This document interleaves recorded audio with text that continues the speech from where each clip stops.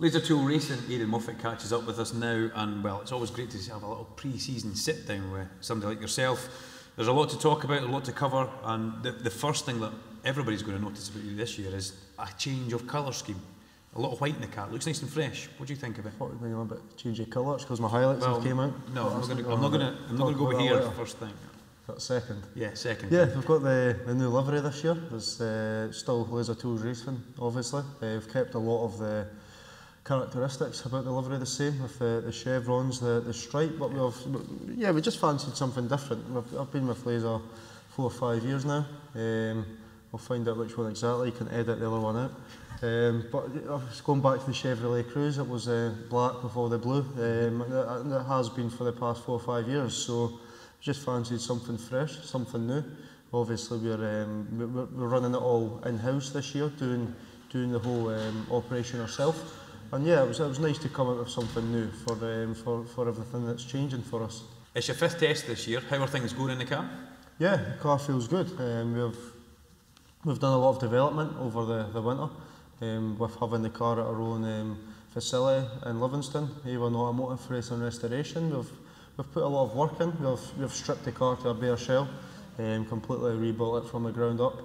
We've, our engineers uh, from Hexathlon Racing and based out in Milan. They've been doing a lot of kind of simulation work, um, looking at the way that we do set the car up, and that along with our um, the development we've put in over here, um, it's everything's looking very positive. Everything seems to be going in the right direction, and uh, yeah, I think it'll be a, a, a good year for us. Is it the same crew chief you're, you're keeping for this year? NASCAR crew chief.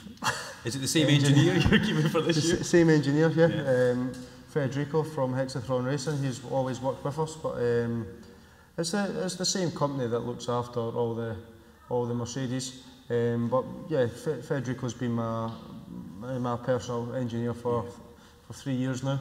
I'm working with him again, and we've, yeah, we've got a great relationship. We know how each other work, and we, we work very well together. So he's back on board. We've got most of the team are the same. Before we had. Um, we tended to take over the running of the car yeah. Come the race weekend. Yeah.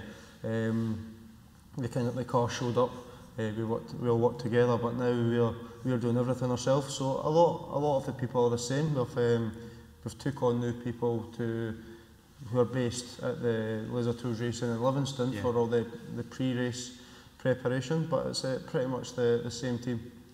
Okay, 2019. It's, it's a big. You've done you've done winning, you know, but can the winning continue? And can it be more frequent this year? Yeah, well, I mean, that's the aim, is consistency. That's where we've been let down. I mean, after, I think, the first three or four rounds last year, we were sitting sixth in the championship.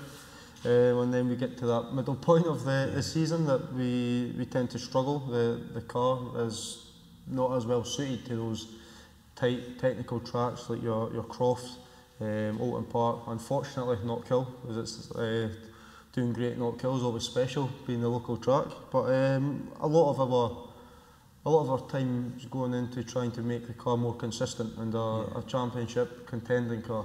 And that's what we're really looking at working on. So uh, yeah, I'm very excited for this year. It's the, the most I've ever been up for it, the, the hungriest I've ever been, Good. the most focused I've ever been, and I, I know the car the car is going to be a lot better. So I'm confident. You've got a big fan base. The Moth has got a big fan base. There's a lot of love out there. What has the interaction over the winter been like with your fans on social media? Yeah, it's been good. It's always good. It's a, it's a great thing having a good fan base. I mean, when you being involved in touring cars, is the fans are what makes British touring cars so special.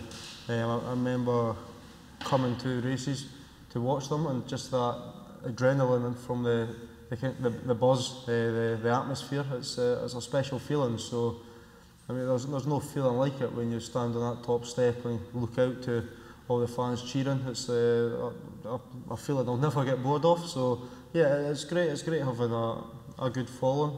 People want wanting you to achieve, and it definitely spurs you on to do well. So there we go.